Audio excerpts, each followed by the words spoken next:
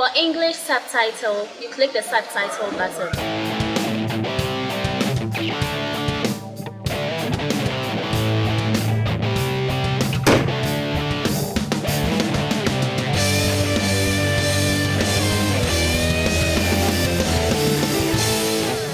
Hallo liebe Reptil-TV-Gemeinde zur Folge 67. Mein Intro-Tierchen heute ist ein Skinkopus fasciatus. Das ist eine in Anführungsstrichen neue Skinkart, äh, kommt aus äh, Westafrika, aus dem Niger, äh, so Sahel oder südliche Sahelzone. Ähm, die werden oder sind dieses Jahr mehr oder weniger das erste Mal werden die importiert nach Europa, nach USA. Ähm, waren früher eigentlich man kannte diesen Skink zwar, aber er war nie erhältlich. Äh, jetzt ist er erhältlich, äh, wird eben aus Westafrika importiert. Ähm, wirklich hübsche, niedliche Tiere, äh, sind überwiegend Vegetarier, beziehungsweise äh, man kann sie mit Katzenfutter äh, ernähren. Katzenfutter, Salat, Obst, die fressen eigentlich so ziemlich alles, was man denen gibt. Sind von Natur aus so lieb und brav, wie wir es jetzt hier sehen. Sehen hübsch aus. Also ich muss sagen, ich bin eigentlich kein Skink-Fan, aber die, die finde ich schon cool und toll und super. Ähm, deswegen wollte ich sie euch zeigen. Ähm, wie gesagt, äh, leider in Anführungsstrichen sind es noch Importtiere, ähm, da es einfach noch in der Terroristik noch gar keine Tiere gibt. Aber jetzt sind sie da, jetzt müssen wir sie züchten und in Zukunft denke ich und hoffen, hoffe ich, können wir ähm, die Terroristik dann mit Nachzuchten versorgen. Das Thema heute von Reptil TV ist die Häutung von Reptilien. Da wollen wir euch dieses Phänomen, äh, was wir bei den Reptilien haben, genauer zeigen und erklären. Das wahnsinnig Faszinierende an den Reptilien ist ja dieser Häutungsvorgang. Ne? Ein Reptil häutet sich regelmäßig, ähm, sieht nach der Häutung wieder aus wie frisch aus dem Ei, äh, will ich jetzt bald mal sagen. Also sieht wieder äh, völlig perfekt aus, völlig frisch aus, die Farben rundum erneuert. Ähm, das ist diese Faszination dran, die Faszination, die wir als Terrarianer haben, aber ich würde sagen, die, ähm, so dieses, dieses Mythos an den Reptilien, ne? die, wo die Leute ja äh, fast davon träumen, so diese ewige Jugend, man häutet sich und alles ist wieder perfekt. Ähm, alle Reptilien häuten sich, Schlangen, Echsen, Schildkröten. Wir fangen jetzt hier mit den, mit den Schlangen an und äh, erklären euch Stück für Stück den Vorgang. Hier habe ich so die, die ersten Vorboten der Häutung sozusagen. Ähm, wenn wir das Tier jetzt anschauen, das ist insgesamt einfach nicht mehr so äh, intensiv von den Farben her. Das Ganze wirkt ein bisschen matt so, wenn man es von oben anschaut. Ne? Also so ein Albino ist ja kräftig gelb leuchtend und ähm, das Ganze hat wegen so einen leicht matten Schleier schon. Ähm, dann eben an den Augen sieht man auch schon langsam, die werden so leicht milchig, äh, bisschen weiß und ähm, Oft kann man es auch am Bauch ganz gut erkennen. Ähm, der Bauch wird ein bisschen so rötlich, hat wegen so einen rötlichen Schimmer. Ähm, daran kann man es auch gut erkennen, dass die, die Häutung bald ins Haus steht. Oder wenn man jetzt hier hinten so Kloake, Schwanzbereich guckt, ähm, da ist das Ganze auch schon ein bisschen so milchig trüb. Ähm, daran kann man es äh, zumindest als, ich würde sagen, als Insider oder als erfahrener Terrarianer ganz gut erkennen ein Einsteiger in der Terroristik, äh, der wird sich hier noch nicht viel dabei denken oder der wird hier noch nicht viel dabei erkennen. Der wird das Tier ähm, ganz normal äh, weiter pflegen oder der wird sich noch nichts groß dabei denken, wenn das Tier so aussieht. Hier haben wir Phase 2 der Häutung. Äh, dieser Champagne hier ganz klar zu erkennen, völlig trübe, weiß-bläuliche Augen ne, oder weißlich-bläulich. Ähm, insgesamt äh, alles trüb, keine Farben mehr, ähm, alles wegen so Ton in Ton. Also dieses Tier hier gnadenlos in der Häutung. Ähm, wenn ihr euch jetzt blamieren wollt und zeigen wollt, dass ihr noch nie ein Buch gelesen habt oder dass ihr euch noch gar nicht auskennt, dann, dann schickt eine Mail oder schreibt in ein Forum, was ist mit meiner Schlange los, die hat ganz blaue Augen. Ähm, also das ist so die, die klassische Häutungsphase, die man als Terrarianer natürlich kennt. Und ähm, in dem Fall äh, lässt man das Tier im Prinzip in Ruhe und ähm, wird sich dann demnächst häuten. Hier habe ich jetzt für euch die Phase 3 der Häutung. Ähm, das Trickige sozusagen an dieser Häutungsphase ist, dass man es dem Tier eigentlich gar nicht mehr richtig ansieht. Ne? Die Farben sind wieder normal, das Tier hat kräftig schöne Farben, die Augen sind wieder klar und der Terrarianer-Einsteiger denkt sich, oh, meine Schlange hat sich gehäutet, wo habe ich denn die Haut? Ähm, die Haut ist noch auf dem Tier drauf. Nach dieser Phase, nach diesen äh, milchigen Augen, die wir gerade gesehen haben, so ein bis zwei Tage bevor sich das Tier wirklich häutet, werden die Augen wieder normal, die Farben werden auch wieder relativ normal und jetzt äh, in dem Fall vermutlich heute Nacht wird sich das Tier häuten. Das kann ich euch jetzt auch noch genauer zeigen oder beweisen. Ne? Wenn ich jetzt hier so ein wenig rumkratze, lösen sich hier schon die, die ersten Stückchen Haut. Das ist so, wie gesagt, ähm, direkt im Prinzip äh, ein Tag oder am, am, Tag vor der Häutung, äh, wo man dann schon hier ein wenig so Haut äh, abpulen kann. Ne? Und am nächsten Tag oder am nächsten Morgen sieht es dann im Idealfall so aus. Hier die schön frisch gehäutete Schlange und im Terrarium liegt hier diese, dieses Hautknäuel. Ja, ich tue es mal wenig auseinander pulen. Ähm, oft ist da noch ein bisschen Kot drin oder im Terrarium liegt Kot und, und auch Urin. Also die Schlangen halten normalerweise den Kot und Urin zurück bis nach der Häutung. Und wenn sie sich dann gehäutet haben, dann geht mit der Häutung oder nach der Häutung, ähm, entleeren die Tiere sich. Ähm, wie gesagt, manchmal hängt es dann auch in der Haut so halber mit drin. Ähm, das ist so der, der Idealfall, so muss es am nächsten Tag im Terrarium aussehen. Das ist hier wirklich ein langer Schlauch. Wenn ich das jetzt hier auseinander drösel, habe ich hier einmal die Haut der Schlange komplett. Dass die Schlange jetzt hier, ähm, dass ich hier eine weiße Schlange habe, also so ein Blue Eye Lucy, ist natürlich reiner Zufall, weil ich jetzt gerade äh, so einen frisch gehäuteten Blue Eye Lucy gefunden habe. Die Schlange hat natürlich die gleiche Farbe nach der Häutung wie vor der Häutung. Ja, also nicht, dass die hier die ganze, ihr ganzes Muster weggehäutet hat, sondern die, die war vorher weiß und ist nachher weiß. Ähm, weiß natürlich auch jeder, jeder Terrarianer. Dass das Ganze so perfekt klappt und so perfekt aussieht, also das, die, diese Haut ist jetzt wie ja so ein umgestülpter Strumpf sozusagen, also einmal von innen nach außen gekehrt. Ne? Ich, wenn ich jetzt hier noch weitermache, dann kommt immer mehr raus. Also hier hinten ist der Schwanz, hier ist das Köpfchen. Ähm, das ist die ganze Schlangenhaut am Stück. Das Ganze klappt, wenn ihr zum einen ein gesundes Tier habt, da gehen wir davon aus, und zum anderen auch das perfekte Klima im Terrarium habt. Ja? Vor allem die Luftfeuchtigkeit spielt bei der Häutung eine, eine mordsgroße Rolle. Die muss passen, die muss stimmen. Ihr müsst ähm, besonders zur Häutungszeit schauen, dass ihr einigermaßen hohe Luftfeuchtigkeit habt, so gut es natürlich geht im Terrarium.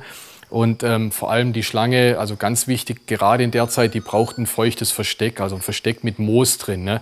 Also nicht ein klitschenasses Versteck, sondern einfach ein feuchtes Versteck, wo, wo im Versteck drin die Luftfeuchtigkeit noch höher ist durch dieses feuchte Moos, was ihr da reinmacht. Dann funktioniert es auch richtig gut. Werden die Tiere zu trocken gehalten, ist insgesamt das Klima im Terrarium zu trocken oder hat das Tier kein gescheites Versteck und vor allem kein feuchtes Versteck, dann ähm, klappt die Häutung nicht so schön wie hier und ihr habt eine am Fetzen oder in Fetzen gehäutete Schlange.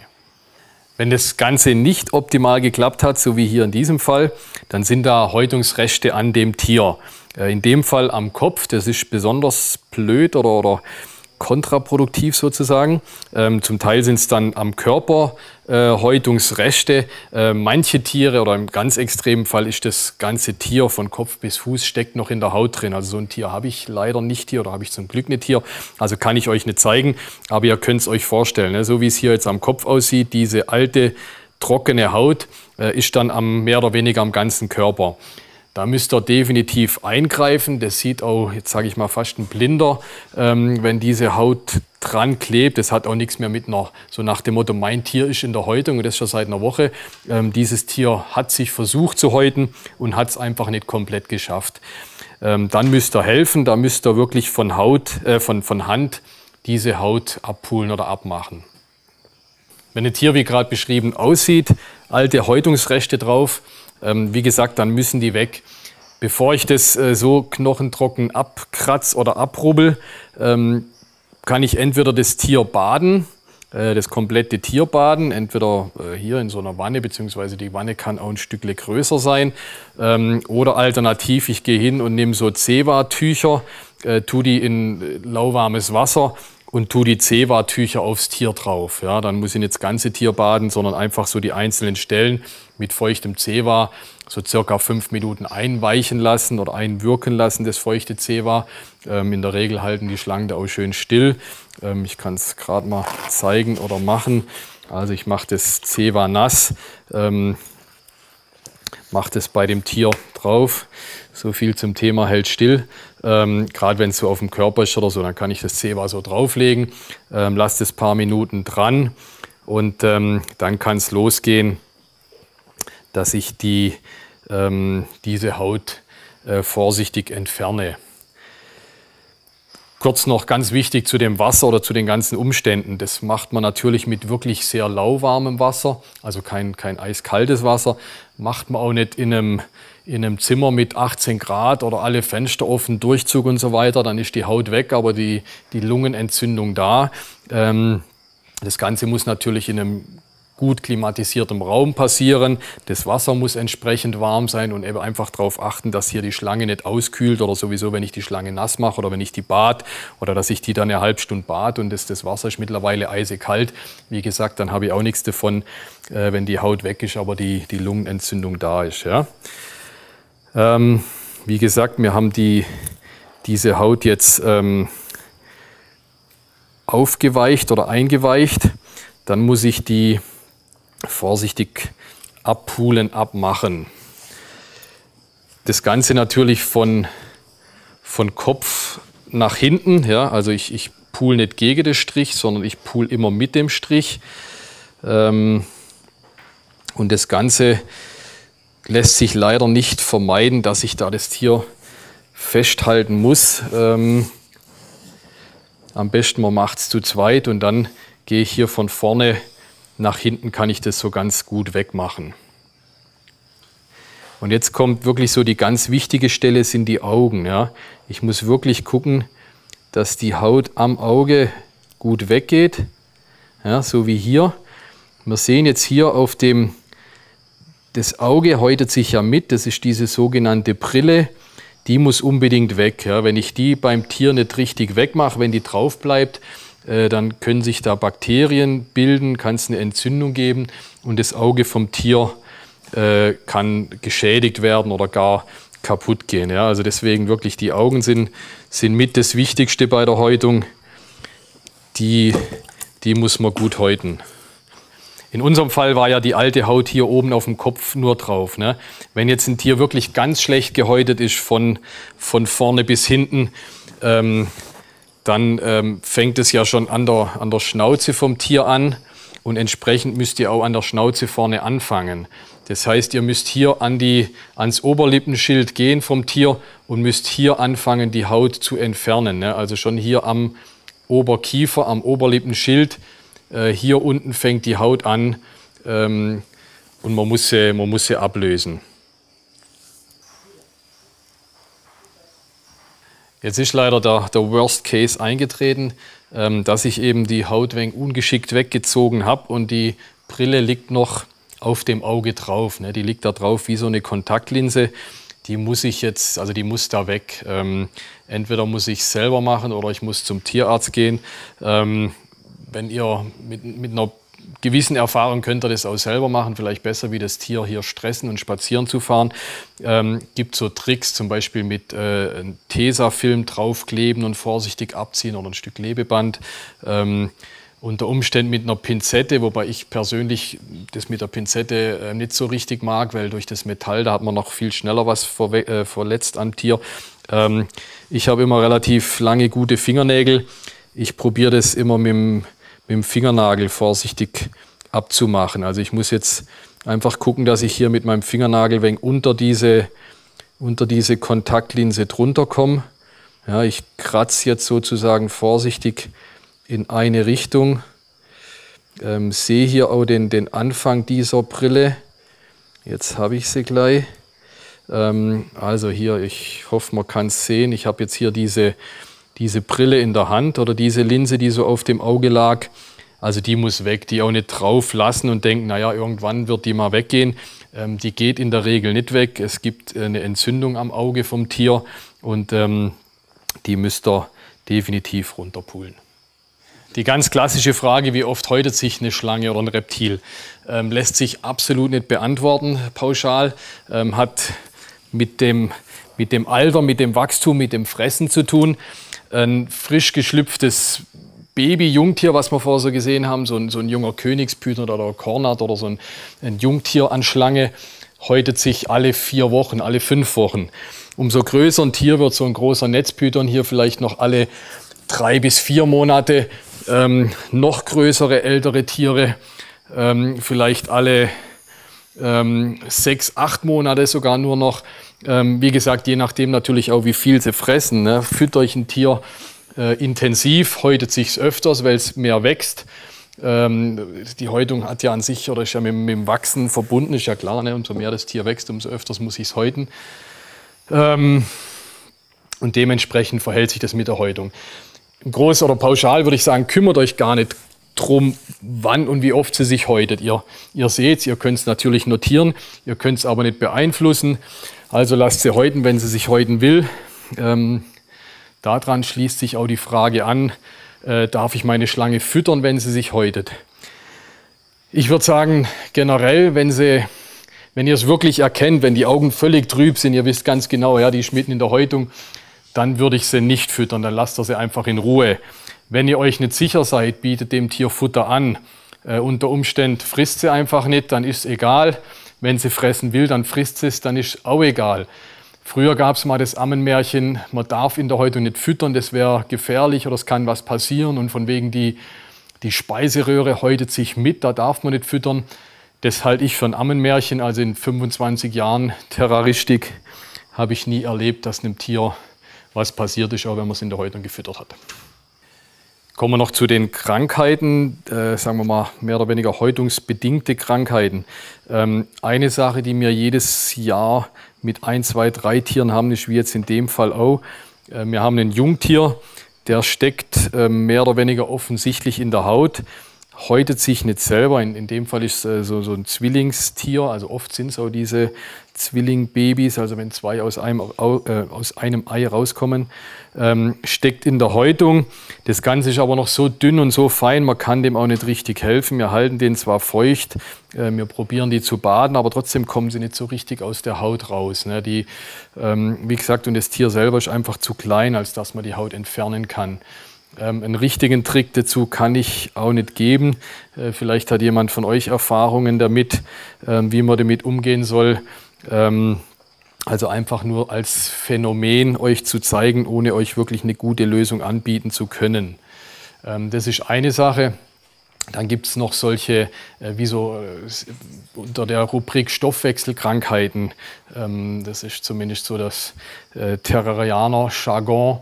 Ähm, zum Beispiel bei einer roten Regenbogenboa erlebt man das relativ oft, aber ich habe es auch schon bei anderen Boas erlebt. Das ist, wenn die von einem Häutungsvorgang in den nächsten kommen.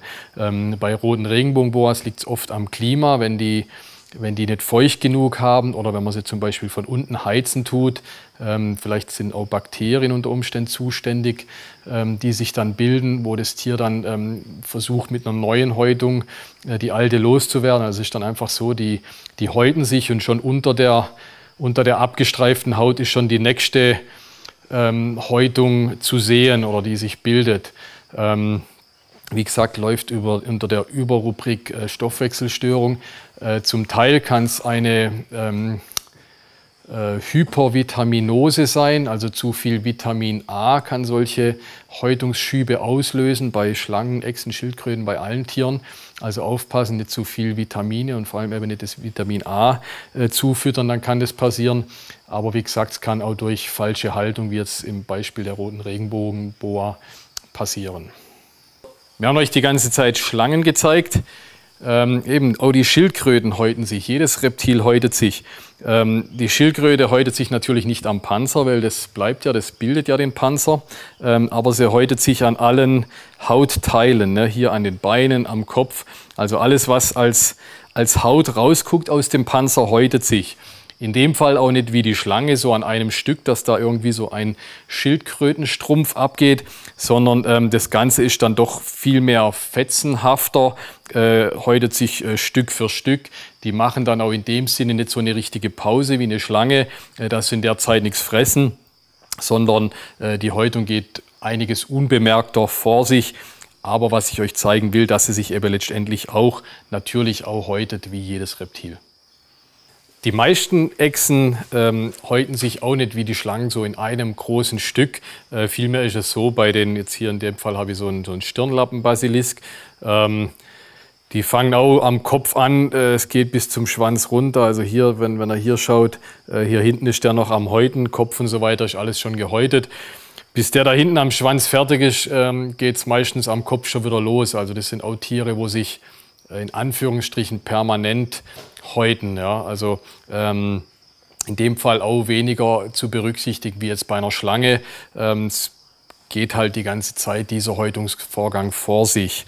Ähm, ich kann es hier mal noch ein wenig zeigen. Also hier am, am Schwanz, hier ist noch äh, alte Haut, die man hier auch so gleich ein wenig wegpulen kann, aber die auch von ganz alleine weggeht. Also ich habe es noch nie gesehen oder erlebt, dass man einer Echse beim Häuten helfen muss. Die, die machen das von allein. Und wie gesagt, wenn dann so Hautfetzen rumhängen, wie jetzt hier in dem Fall, ähm, ist es egal, beziehungsweise das ist normal. Das ist bei den, bei den meisten Echsen so.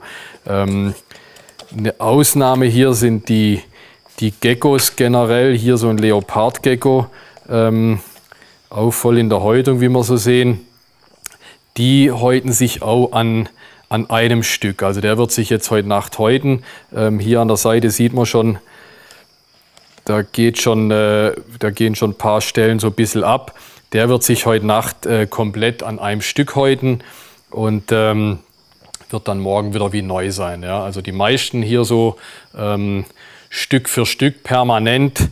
Ähm, einige wenige in Anführungsstrichen oder eben vor allem die Geckos auch an einem Stück wie die Schlangen. Ich habe gerade gesagt, dass bei den Echsen muss man eigentlich nicht viel machen bei der Häutung. Äh, ist nur die, die halbe Wahrheit. Ähm, hier bei dem Chamäleon können wir es ganz gut sehen. Äh, wenn die sich häuten, was im, in einem dummen Fall passieren kann, ist, dass die Haut ähm, festklebt am Körper. Das kann zum einen sein, wenn es zu nass ist. Also manche Leute gehen hin und sprühen dann wahnsinnig, dann wird die Haut nass und klebt fest. Also gerade bei den Jemen-Chamäleon ähm, gibt es das oft, wenn man es zu gut meint. Oder aber auch, wenn es zu trocken ist, äh, kann es auch passieren. Wie gesagt, dann, dann geht die Haut nicht richtig ab. Dann bildet sich wie so ein Strumpf, zum Beispiel um das Bein oder um den Schwanz, so ein Strumpf. Die Haut trocknet ein, zieht sich zusammen und schnürt dem Tier ähm, die Blutversorgung im Bein oder am Schwanz ab. Ne? Dazu, dadurch kann es dann sein, dass, oder bei, bei den Zehen, auch bei, bei Badergamen, äh, Jungtier oder bei Badergamen allgemein, äh, hat man es oft bei den Zehen. Ja? Also die, die Haut äh, bleibt dran, äh, trocknet aus, zieht sich zusammen, schnürt die Versorgung von dem Gliedmaß ab und das Gliedmaß stirbt ab ähm, äh, aus diesem Grund oder einfach, weil es halt keine richtige Blutversorgung mehr hat. Ja. Also deswegen aufpassen äh, bei den Echsen, dass wenn so Fetzen dranhängen, so wie hier, ist das alles noch okay, das ist alles frisch, aber es darf nichts Altes eintrocknen oder dran hängen bleiben. Ja. Wie gesagt, äh, auch bei, bei Badergamen ganz wichtig. Äh, bei den Theus habe ich es schon öfters gesehen oder erlebt, dass Zehen sich nicht richtig häuten und dann absterben aus dem Grund. Ähm, oft ist das dann, dass die Leute denken, ach, was ist denn da passiert, wieso fehlt die Zehe, hatten die eine Beißerei oder sowas? Nee, die hatten keine Beißerei. Es ist einfach die alte Haut, die das verursacht hat. Wir heißen zwar Reptil TV, aber wir zeigen euch ja auch oft und gern andere Terrarien, Tiere. Äh, in dem Fall äh, Spinnentiere. Ähm, da ist das auch eine, eine tolle, interessante Geschichte. In dem Fall ein Skorpion. Aber bei den Spinnen oder Vogelspinnen ist genau das Gleiche. Wenn die sich häuten, ähm, hat man am nächsten Tag mehr oder weniger zwei Tiere im Terrarium. Ne? Einmal das Tier selber und zum anderen die Haut von dem Tier, wo wirklich eins zu eins wie das Tier selber aussieht. Ne? Natürlich nicht ganz so intensiv farbig, ähm, aber am nächsten Tag wirklich äh, zwei zweimal das Tier im Terrarium. Wie gesagt, das ist bei den Skorpionen so, das ist bei Vogelspinnen so. Ähm, die häuten sich auch an einem Stück und sieht dann faszinierend aus. Ähm, noch eine kleine wichtige Sache bei den Spinnentieren äh, sollte man wirklich besonders darauf achten, dass während der Häutungsphase und auch kurz danach, also ein, zwei, drei Tage danach, keine Futtertiere im Terrarium sind, weil dann sind die Tiere noch weich und empfindlich. Da kann selbst so eine Grille oder ein Heimchen oder irgendwas ähm, der Spinne oder dem Skorpion schaden, ähm, weil sie da einfach sich noch nicht wehren können. Also bei denen ist wirklich besonders wichtig, dass man in der Zeit nicht füttert und dass eben keine Futtertiere im Terrarium drin sind. Ich glaube, keiner kann uns vorwerfen, dass wir aus Reptil TV irgendwelche Werbesendungen machen. Heute will ich es ausnahmsweise mal ein bisschen machen. Ähm, ganz einfach aus dem Grund, weil ich die Sachen richtig cool und lässig finde. Also wir haben ganz neu bei uns in unserem, unserem neuen Webshop, hier unten steht er eingeblendet, haben wir ähm, so neue Schmucksachen für die Schmuck für den Terrarianer. Also sei es jetzt hier irgendwelche Geckofüße, Chamäleons, äh, Einkaufswagen, Chips sind es, Vogelspinnenanhänger, Schlangenanhänger, jede Menge andere Sachen noch. Ähm, ich finde die Sachen wirklich super schön. Das sind nicht irgendwelche so Hauptsache Reptil drauf, sondern ich finde sie sehr schön, sehr geschmackvoll. Ähm, deswegen ähm, haben wir sie ins Programm genommen, aber beziehungsweise deswegen will ich sie auch heute ansprechen. Wenn ihr Spaß an solchen Sachen habt, könnt ihr wie gesagt bei uns im Online-Shop bestellen. Ansonsten bleibt mir treu und checkt nicht nur meinen Schmuck, sondern vor allem meine Balls und checkt unsere Häute.